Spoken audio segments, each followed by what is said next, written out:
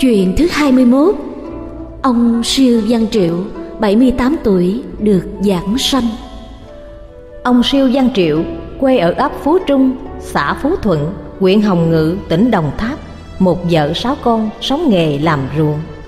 Sau ngày 18 tháng 5 năm 1939 Đức Thầy mở đạo dạy đời. Bá tánh gần xa lũ lượt đến tổ đình nghe Pháp và phát nguyện quy y.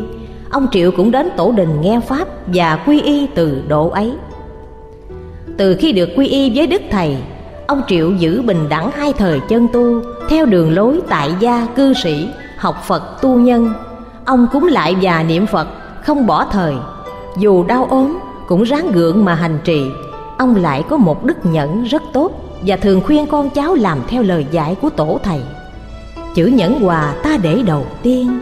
Thì đâu có mang câu thù oán. Việc hung ác hễ vừa thấp thoáng, Chữ từ bi ta diệt nó liền. Sự quán thù đáp lại chữ hiền, Thì thù quán tiêu tan, mất hết. Phát nguyện trường chay. Vì xét thấy dạng vật vô thường, Thân là gốc khổ, Theo sấm thi Đức Thầy đã chỉ dạy. Bá tánh sai xưa mùi phú quý, Sau này sẽ dướng cảnh đồ lao. Đồ lao muốn lánh sớm nghe ta, Bố thí trì chay giữ giới mà. Phật đạo trao dồi tâm tánh lại, giác thuyền chuyến chở lúc can qua. Ông phát nguyện tuyệt sát trường chay Lúc đó ông được 38 tuổi. Đến năm 58 tuổi, Ông bị bệnh bán thân. Từ đó, ông buông hết việc đời chuyên lo niệm Phật Và thiết tha cầu sanh tịnh độ. Đến ngày 13 tháng 9 năm 1997 Ông nói với con gái út là tu sĩ siêu thị Nga. Bữa nay con dọn cơm dưới bếp, Dìu ba xuống ăn chung với con một bữa. Ba chỉ ăn cơm bữa nay nữa thôi. Khi ăn cơm xong, Ông lấy trong miệng một cái răng, Đưa cho cô Nga và nói, Con giữ kỹ vật này để làm kỷ niệm. Sáng hôm sau, Ông nói với cô út Nga, Con có chuẩn bị hành lý cho ba đi chưa? Cô Nga nói Ba định đi đâu? Ông nói Đi về xứ. Bạn cô Nga hỏi Thưa bác, quê bác ở đây mà. Ừ, Bác nói định về xứ nào? Ông nói Ở đây là quê giả Cực lạc mới là xứ mình.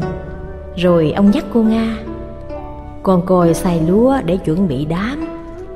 Chiều lại ông hỏi Bữa nay mấy rồi con? Con ông bảo Thưa ba, bữa nay là 23 Ông hỏi nước sau hè khô chưa? Con ông nói Thưa ba còn nửa ống chân. Ông nói Ráng vài bữa nữa cho nước khô. Rồi ông bảo kêu con cháu đến nhà đủ mặt Cháu nội ông có hai người làm nghề đặt vấn Ông kêu lại và bảo đừng tạo nghiệp sát nữa Vì sinh vật cũng có linh hồn Cũng có thân xác Biết ham sống sợ chết như mình.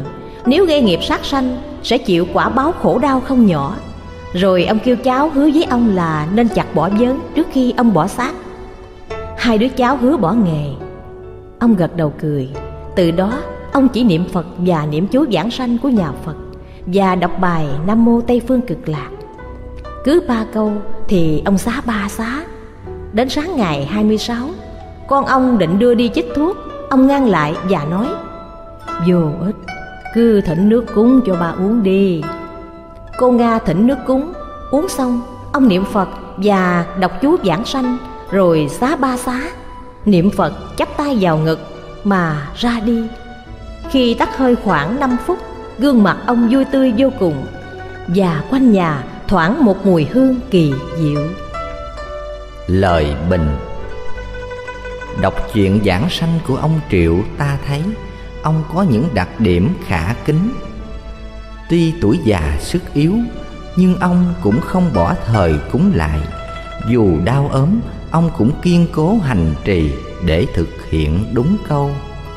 Sớm chiều bình đẳng chớ lơi, Thường hành như vậy, Nhớ lời đừng sai.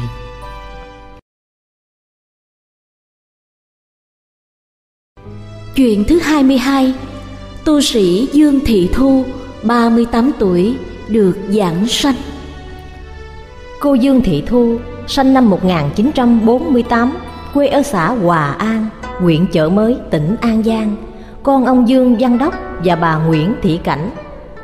Khi lớn lên, cha mẹ cô định bề gia thất như bao cô gái khác. Cô Thu quyết định chối từ, nhưng cha mẹ cô nhất quyết gả vì đã lỡ hứa với đàn trai rồi. Sau ngày đám hỏi, cô đem nữ trang đến tận gia đình nhà trai, nói rõ ý nguyện của mình, nhất định lo tu.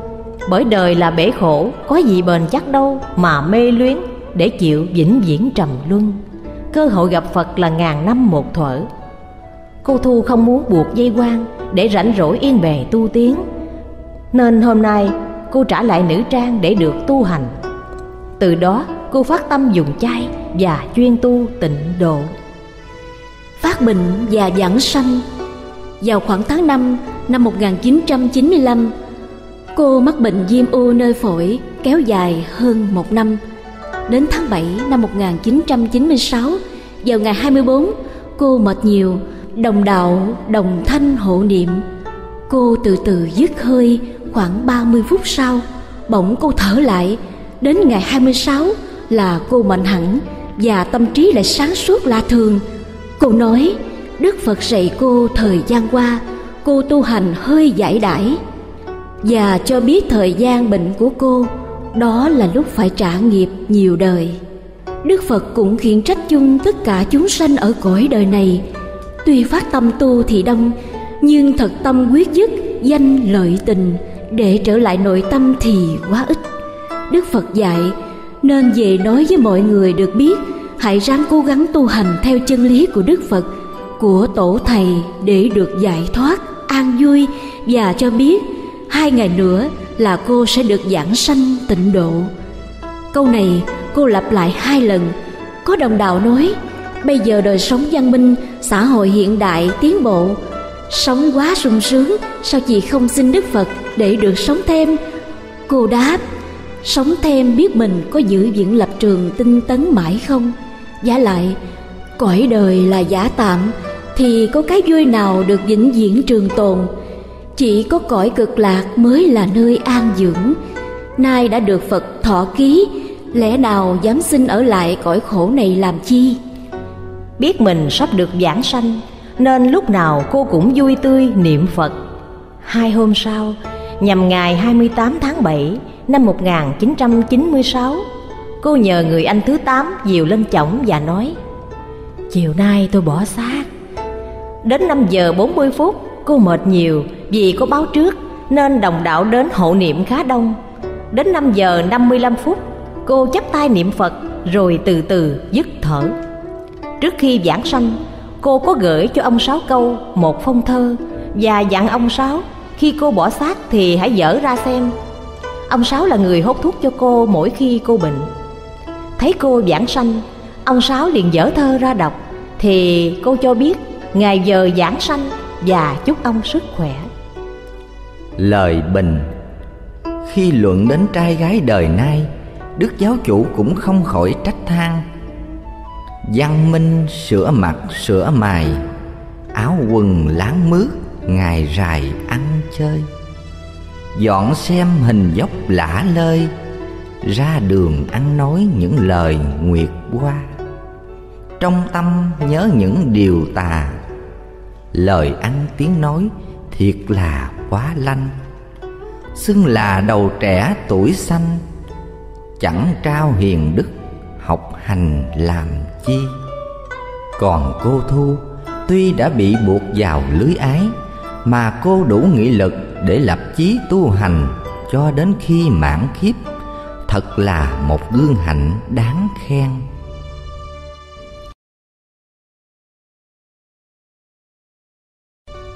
Chuyện thứ 23 Ông Bùi Văn Ti 69 tuổi, được giảng sanh.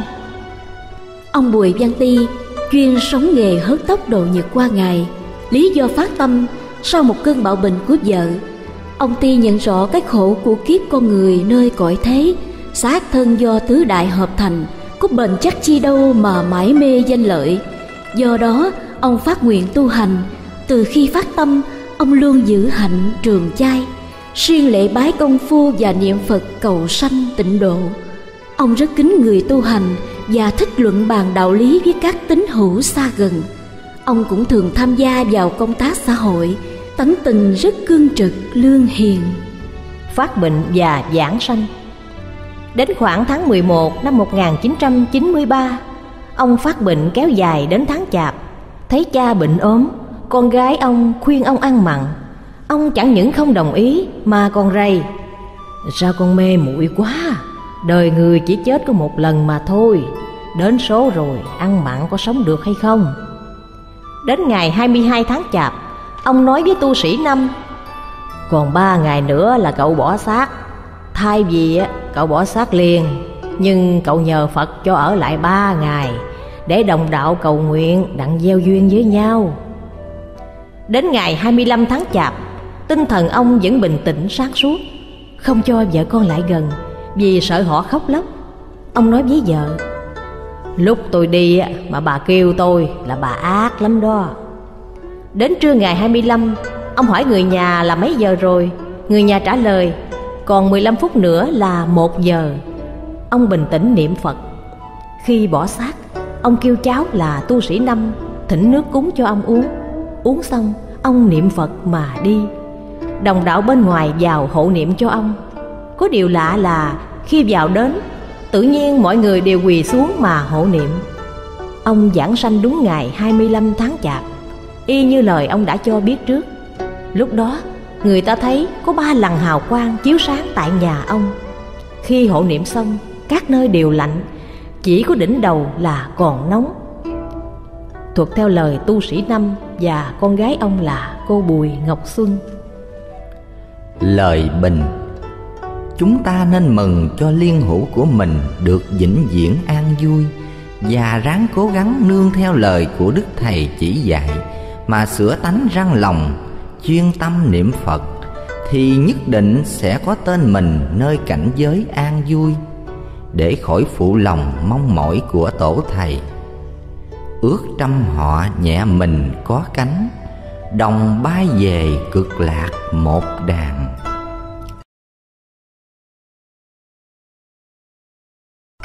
Chuyện thứ 24 Cư sĩ Đỗ Văn Xét 66 tuổi, được giảng sanh. Ông Đỗ Văn Xét ở phường Mỹ Xuyên, thị xã Long Xuyên, sống nghề mua bán. Kết hôn cùng bà Trần Thị Chỉnh sanh được 10 người con. Ông có đức tính rất tốt, thích làm từ thiện, phát tâm ăn chay trường vào năm 1982 và tự nguyện hút thuốc nam ở phòng thuốc địa phương để giúp đời.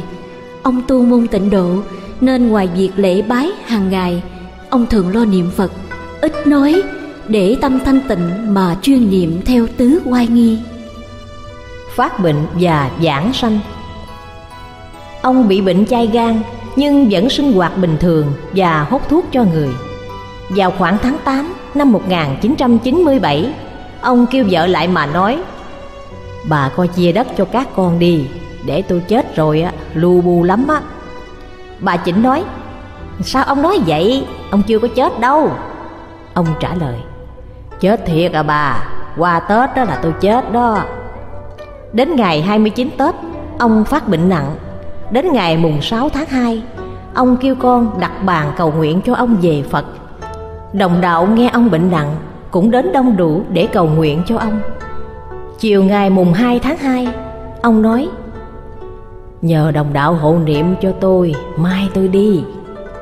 Đến 3 giờ sáng ngày mùng 3 Ông kêu bà xét đến mà nói 4 giờ tôi đi. Đồng đạo và gia đình hộ niệm đến 4 giờ 15 phút. Con ông nói, Bây giờ là 4 giờ 15 phút rồi đó ba.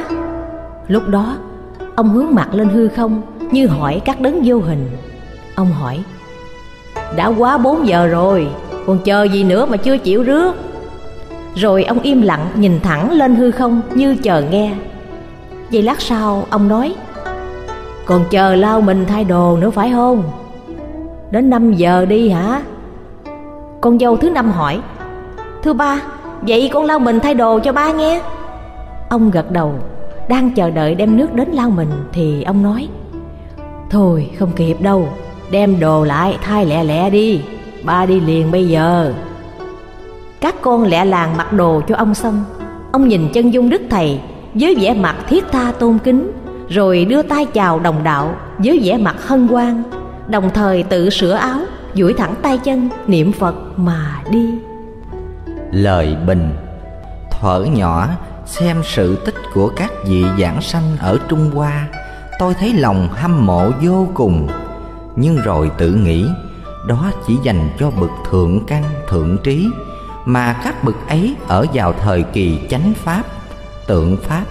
Chớ đời nay thì làm gì có được nhưng khi đọc được các sách tịnh độ của chư tổ liên tông, tôi không còn tuyệt vọng như trước. Sở dĩ ông xét được giảng sanh tự tại, bởi ông tu đúng theo giáo lý học phật tu nhân, vừa tạo tác phước điền, vừa chuyên tâm niệm phật. Thật vậy, người chuyên tâm niệm phật giúp thế độ đời, như chim có đủ đôi cánh, như đại chu thoàn đủ sức vượt biển để đến bờ tịnh ban an lạc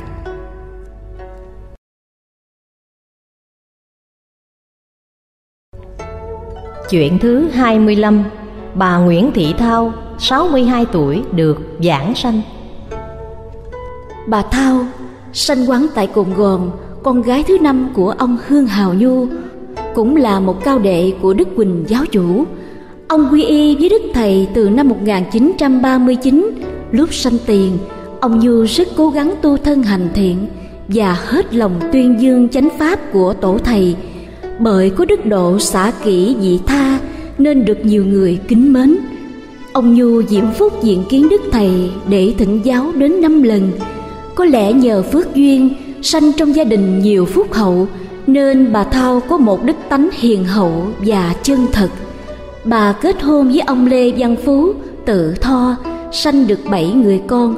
Thời gian ông Lê Văn Phú đi phổ truyền chánh pháp của tổ thầy, dù gặp cảnh gia đình rất túng thiếu, nhưng bà vẫn quan hỷ chẳng phiền than, còn khuyến khích chồng nên yên tâm lo đạo, chuyện gia đình thì bà nguyện sẽ đảm đang thời gian phát bệnh và giảng sanh. Đến tháng 2 năm 97, bà Thao phát bệnh nặng, mặc dù cơn bệnh hoành hành, nhưng bà vẫn chí tâm niệm Phật.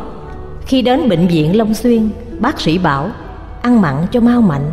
Bà nói thà chết mà giữ tròn chay giới, còn hơn kéo dài sự sống để tạo tội thì bà nhất định chẳng bằng lòng. Có lần bà Tám học đến thăm, bà Thao nắm tay mà nói Chị xui à, Tôi thấy công đức niệm Phật lúc mạnh với khi đau yếu cũng như nhau Nhưng khi mạnh thì niệm Phật quá dễ dàng. Còn lúc đau ốm á, mà niệm được một tiếng niệm Phật trên giường bệnh thật là khó khăn. Phải trước kia tôi còn khỏe mạnh mà hết lòng chuyên niệm Phật cho đầy đủ công đức Thì đã hết nghiệp khỏe lắm rồi. Bây giờ tôi bị cơn bệnh hành hạ khổ sở thế này thiệt là uổng quá. Vậy chị ở lại còn khỏe Ráng niệm Phật nghe chị. Đừng để hối tiếc như tôi thì muộn lắm chị à. Đến ngày 16 tháng 4 Thì bà bảo con trai thứ tư là Lê Văn Tính.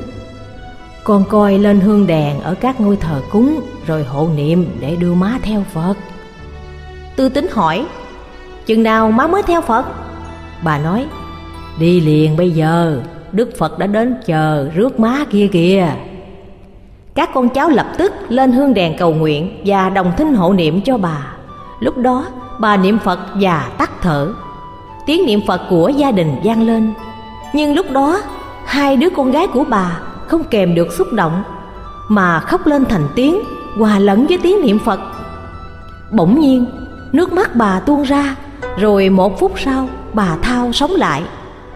Tư tính hỏi, sao má nói phật đến rước mà má chưa đi? Bà nói, Con không thấy hai hàng nước mắt sao? Tại con Trinh và con Phê nó khóc quá, Mà má thì không cầm được sự xúc động. Nên Đức Phật chỉ vào mắt của má Mà nói rằng, Con còn luyến trần lắm, Đi chưa được. Thế rồi Phật biến mất. Đến ngày 21 Cô Út Đồng đến thăm. Cô Út nói, Chị hai Em đem đồ lên đây ở, Hộ niệm để đưa chị về cực lạc nè. Chị nhắm đau kỳ này mạnh Hay là tính giảng sanh luôn đây chị? Bà nói, Tôi giảng sanh luôn cô à. Trước mắt tôi lúc nào cũng có bốn bông sen màu hường hiện ra, Mà sao tôi chưa có lên được? Chắc tại nghiệp còn nặng lắm chứ gì. Rồi với giọng tha thiết, bà nói, Đức Phật ơi, Ngài cho con một bông thôi Cũng được nữa. Con ham lên đó quá. Cô út hỏi, Chị nói bốn bông sen đó ở đâu? Bộ chị nằm diêm bao hả? Bà nói, Không phải đâu, Bông sen đang trước mặt tôi đó. Bộ cô không thấy sao? Hai cái nở, Hai cái búp kia kìa. Đến tối ngày 21 Bà nói với tư tính Đức Phật cho má biết Là 12 giờ này má sẽ đi. Đêm đó, đồng đạo đến hộ niệm khá đông. Khuya đêm 21 Bà kêu tư tính ra mà nói, Tính à Nghiệp của má đến quá nhiều rồi đó. Con coi kìa, Chó đó hiện ra đông lắm. Chúng đến đòi mạng. Con tiếp má tụng chú giảng sanh cho nó đi. Tư tính liền niệm, Nam mô Tây phương cực lạc thế giới, Tam thập lục dạng ức, Nhất thập nhất dạng, Cửu thiên ngũ bá Đồng danh đồng hiệu, Đại từ đại bi, Tiếp dẫn vong linh A-di-đà Phật. Niệm vừa dứt câu thứ ba, Đến câu thứ tư, Vừa khởi sướng Thì bà khoát tay nói, Thôi, nó đã đi hết rồi. Đến 11 giờ 30 phút, Cô út nói với tư tính Cô đã lên hương đèn lễ bái các ngôi thờ cúng xong rồi, Để cô thay ca niệm Phật cho. Chị em con lên lễ bái cầu nguyện cho má con đi, Rồi xuống đây cho đủ mặt. Má con nói là Phật cho biết Sẽ rước bà lúc 12 giờ. Bây giờ là 11 giờ 30 phút. Đúng 12 giờ, Các con cúng ngọ xong rồi. Cùng đồng đạo lớn tiếng hộ niệm nghe. Tới đó, Bà xuôi mình ngay thẳng, Rồi từ từ dứt thở. Thuật theo lời của Lê Văn Tính Con trai của bà Thao.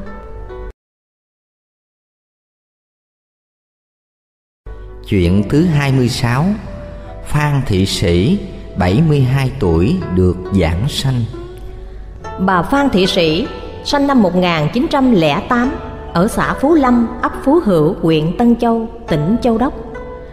Bà quy y với Đức Quỳnh giáo chủ vào năm 1945. Bà là người quá chồng, chỉ có một người con là Nguyễn Thị My. Gia đình sống về nghề nhuộm hàng.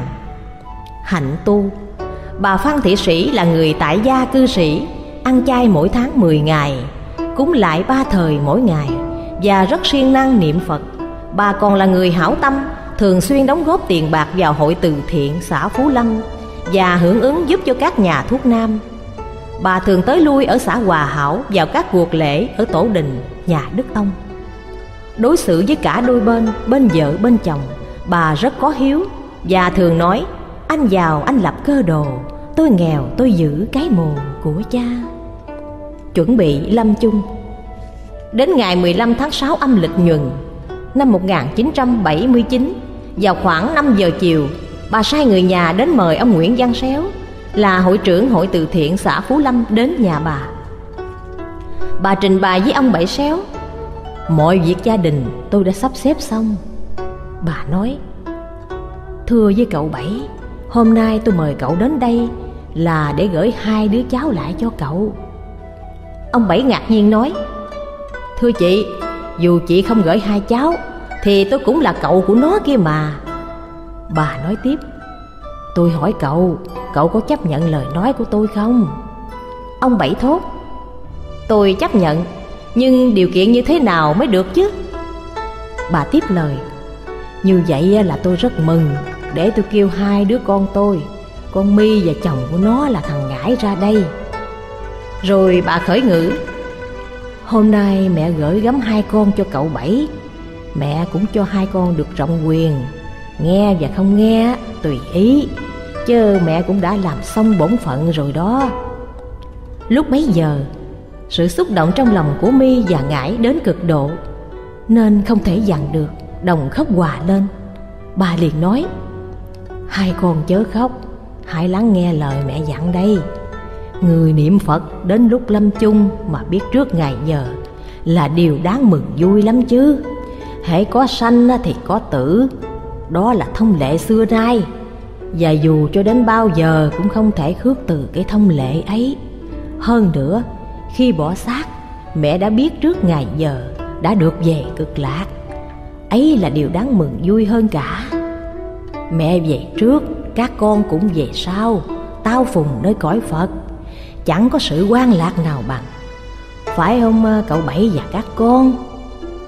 Cậu Bảy à Khi chị từ trần, Chính tay em đóng cho chị một cái hàng, Không sơn phết gì cả. Còn đồ đạc, quần áo Cái nào đã cắt nút Thì đem theo cho chị. Số còn lại để con mi sử dụng Hoặc đem cho bà con nghèo. Lễ an táng phải cử hành trong ngày Và cũng không phải làm mồ mã chi cả. Sau ba ngày bỏ xác Tôi nhờ cậu mời hết anh em đồng đạo Đã có mặt trong ngày an táng này Đến và bảo mi nấu nồi chè cho thật lớn Đãi đằng bà con huynh đệ Để đáp lại phần công ơn khó nhọc. Bà còn dặn cô mi Chẳng nên cho thân nhân hay nhiều Vì sợ e làm rộn tâm bà trong lúc lâm chung. Hôm sau, sáng ngày 16 tháng 6 nhuần âm lịch năm 1979 vào lúc 5 giờ, bà kêu con gái là mi đến Rồi nói Mẹ sắp đi, con chẳng nên bối rối khóc lóc Nên niệm Phật hộ tiếp cho mẹ. Mẹ niệm Phật rồi bỏ xác. Sau đó con sửa tay chân Rồi đến cho cậu bảy con hay nha. Dặn dò xong Bà chỉ lăn qua lăn lại Rồi tắt thở lúc 6 giờ sáng Trong khi chẳng có bệnh gì nặng nề đáng kể.